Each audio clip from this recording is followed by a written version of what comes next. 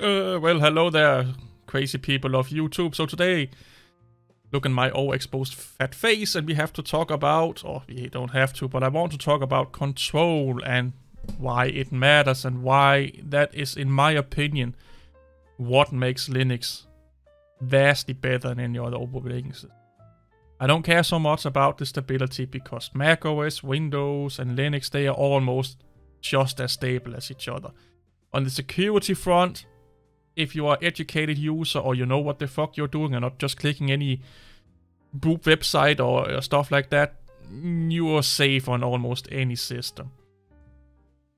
Software wise, I get the software I want on Linux, I get the software I want on Mac, I get the software I want on the Windows. Uh, well, I get more of the software I want on the Windows because I play a lot of games that you can't play on the Linux, sadly enough, and I use some software you can't use on the Linux. So I have to use Windows once in a while. But like I said, I'm not using Linux or I have never used Linux in my whole life because it was more secure. Well, stable, yeah, in, in the 90s and early 2000s until Windows XP. I used Linux a lot more because of the stability. But after that, it was kind of like mm, the security aspect. I never really had any problem with viruses and stuff like that. Like, yes, I had like uh, pirated software in my youth, and yes, I got a virus here and there. But I always knew how to handle that shit. I always found a way how to clean my system again and, and get back to working state quite fast. So it was not really like a big problem for me. So why did I choose Linux or why did I fall in love with Linux back in the day? Back then we called it customization. We love to tinker, we love to customize us in our environments, you know, our editors, our uh, terminals and stuff like that. That was what I fell in love with, that it was never the same. Linux always was looking different, doing different things. I could make it look like a fucking something I saw in a sci-fi movie and stuff like that. It was amazing. Windows and Mac, they just looked like Windows and Mac and they were boring. You could get some third-party programs that kind of themed Windows and Mac a little bit, but on Linux you could do whatever you want. Then I started to get more into the pro program side, you know, like, ooh, I can actually use these kind of programs and, ooh, I don't, or I, well, let me put it another way. I started to notice uh, in the early 2000s and up that every time I got a new PC and you got those installation DVDs, so you had like an installation partition if your computer went wrong, I had to sit and fucking uninstall bloatware. Uh, oh, you have a HP, here's all the HP software that takes up one gigabyte and runs in the start up with the system and blah blah blah blah that you don't need. Take away a lot of that shit and I don't like that, so I always have like a Windows XP or whatever Windows version I was on, I always had like a Windows 7 or 8 or 10 or whatever, you know, vanilla install. So I didn't use those recovery positions or those recovery CDs on other uh, than for driver support because it was the easiest way to get the drivers I need to get the sound card and the graphic card to work, and then I could go onto the internet and update it.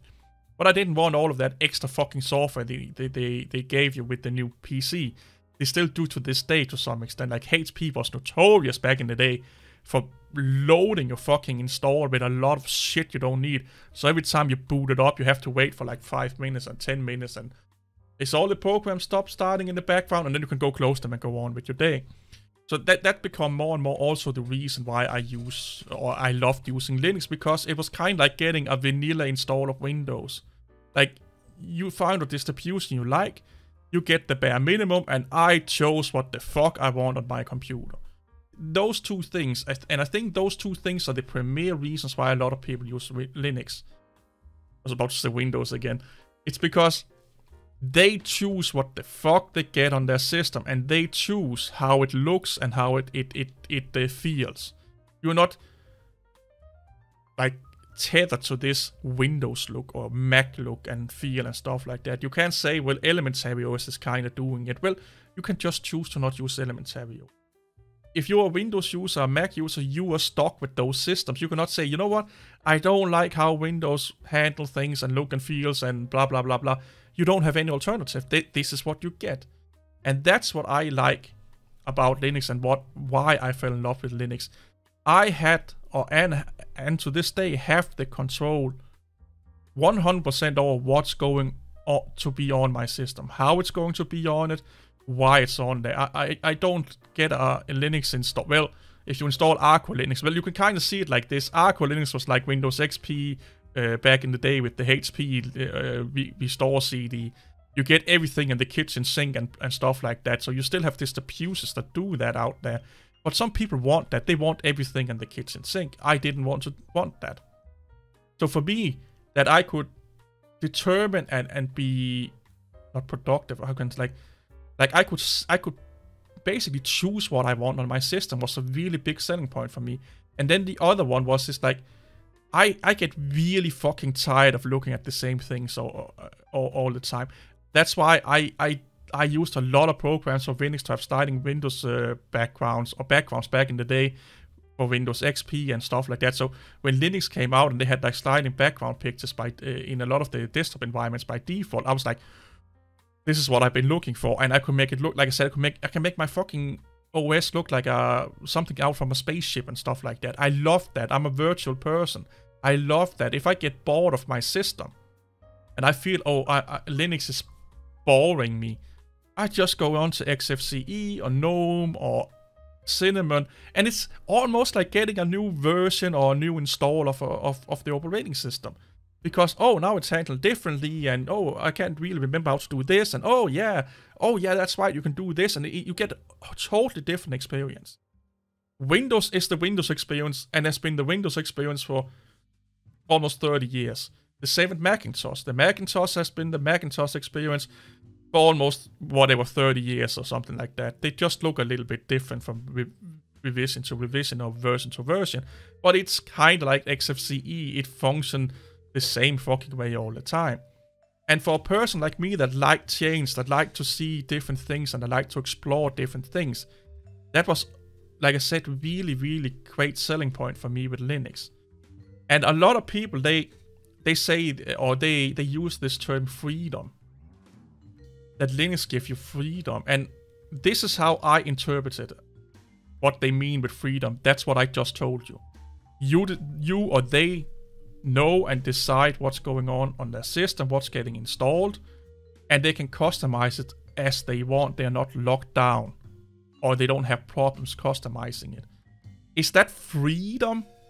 Well, yeah, it's like you have the freedom to do it, so yes, but I will more say that it's more a control and a customization selling point. Because when I, when I think about operating system freedom, for me, that's that would be kind of what Steam is doing right now. That you could run games both on Macintosh, Linux, and Windows. That's that I see that as freedom because then you have the freedom to run your programs on all the systems. If you get what I'm saying, here, I see that as a freedom. I don't see the customization and the control that Linux gives you as, as much as a freedom. I see that more as, as like I said, control and customization. And yes, they all have, you know, the more control and, customization abilities you have, the more freedom you have, uh, so to speak. But I, I just, it just, I just feel that we're saying this with freedom because freedom means so much different to different people. If you talk about freedom in Denmark, don't mean the same as freedom in Germany or freedom in England or freedom in the States. But if you talk about you have control over your, your system, and you have customizability over your system. That's universal. If, if I talk to a guy in the States or in Germany or in Zimbabwe or whatever they where the fuck they are, are located, if I talk about control and customization, they know exactly what I'm talking about. But if I talk about freedom, they're like something freedom is being told what to do every day, but you have the freedom between three choices or two choices. Oop, two or two or three, yeah. I can do math they see that as a freedom. Yeah, yeah, getting told what to do, but I have the freedom to choose between three different things. They see that as freedom, where some will say, well, that's not freedom, that's just being uh, under a dictatorship with the choice. You get what I'm saying here. And choice and freedom is not always the same. Falling off the chair here. That was for me this freedom aspect that a lot of people were talking about. Never really resonated with my head. It was more the customization and the control. And that was also when I was selling Linux to people or explaining why they should use Linux, that was what I was telling them.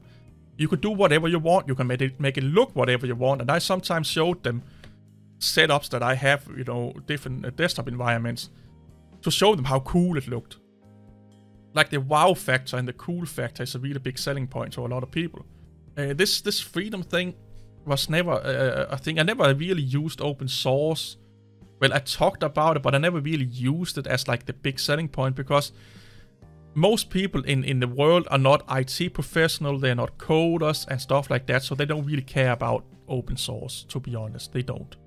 It's kind of like this the same, like you don't really care where your clothes are made or how it's made. You just care about the price, the performance. Do you feel it's worth the asking price? You, you you don't go and research how how is this shirt made, how's this microphone made, how's this chair made. It's just yeah, th- th- this this looks like a good deal, and hopefully nobody got killed or you know we're not killing animals uh, meaning like we're not eradicating an animal species while making it and stuff like that that's like the closest people come to thinking about when they're buying stuff and that's also how people look at the operating systems they don't care about all these philosophies about this and that and all of the things that we are talking about so I never really use that as as a as a selling point. point, and a lot of people they they they, they see Windows as being free. It's a free you they have freedom under Windows because they can download whatever program they want from the internet and use it, and they see that as freedom. But if you again if you tell them or or try to explain to them, well, under Linux you have customization out of the wazoo, and you have 100% control of what's going on with your system that has always been the most successful conversations I have with people. It's always been like, oh, why the fuck is it installing these programs I don't need and I have to uninstall them? Or why why do I need to have this running in the background else Windows will not function correctly and stuff like that? And I'm like, don't have to do that on the Linux. you install the bare minimum you have to do, and then you're up and running and you can you can go on to all the the, the donkey porn sites you want and and the third arm uh, swinger party at your local Times website and look at what that's about. You're not tied down to, well, we, we, we need you to have gaming uh, or Xbox Live installed on your system and running the background, or else Windows will not work. And but I'm not a gamer, you know, and stuff, stupid things like that.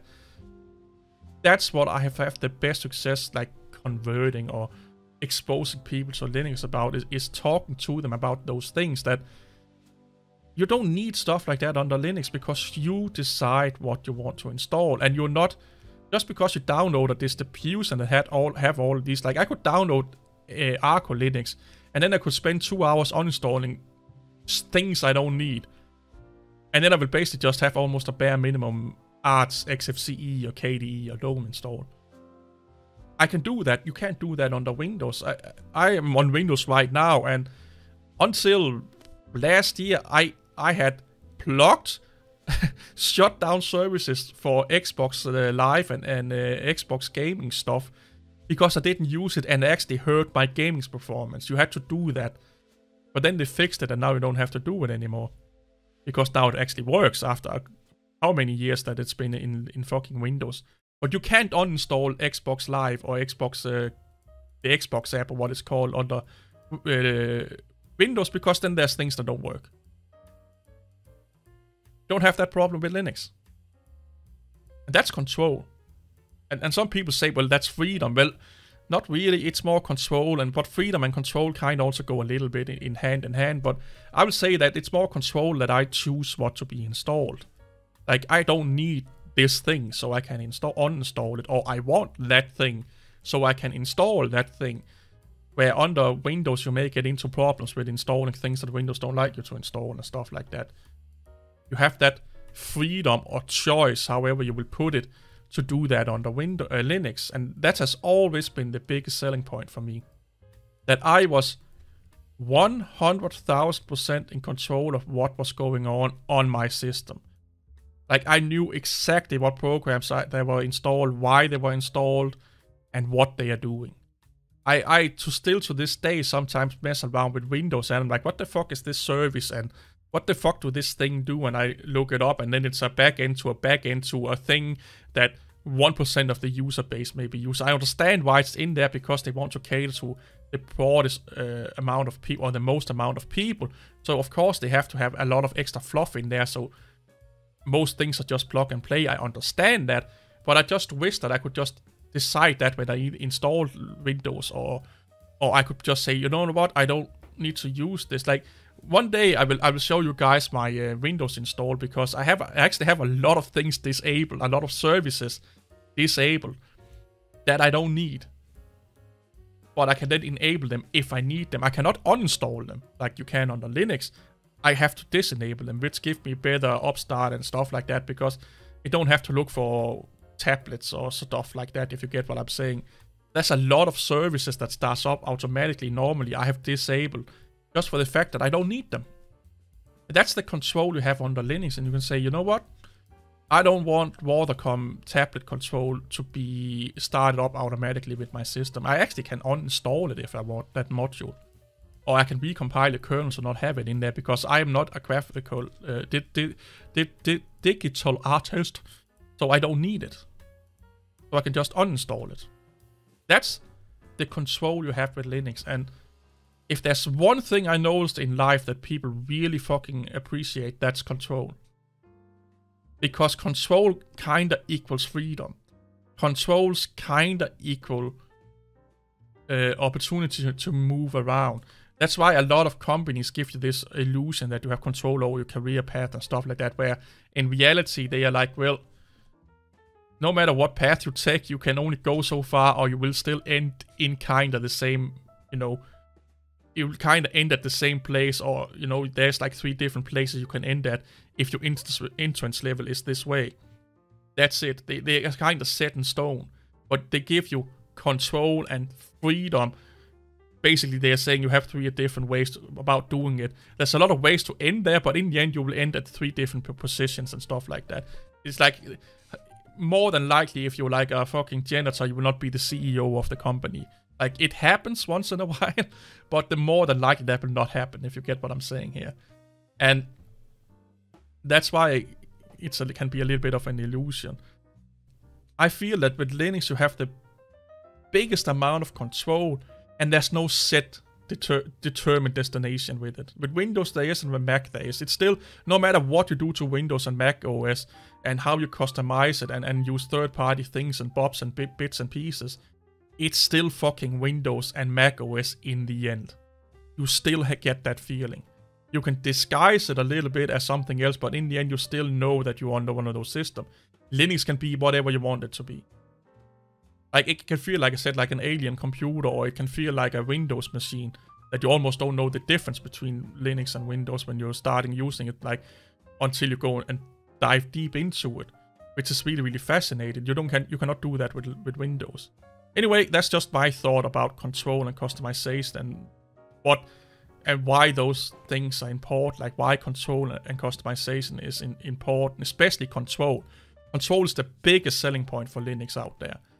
Uh, I would love to hear you guys' uh, reasons and what you think is the most important thing about Linux. Yes, I know a lot of you guys would say open source, like that it's open source. Let's try not talk about that because it's kind of uh, a lot of you guys that say you like it for because it's open source are not doing anything with the open source, meaning you're not contributing to a code, you're not fixing a code, you just like the idea of it being open source. I'm talking about practical things that that you are using on a day-to-day -day basis. So I am using customization and the, that I have the control to install what I want and don't want on a day-to-day -day basis on my Linux installs.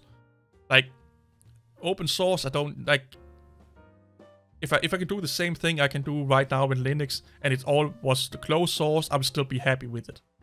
Because I don't go and fiddle with source code. And, and control don't mean that it's because it's open source you have control. No, it's not the same thing. You can also have control with, with the closed source.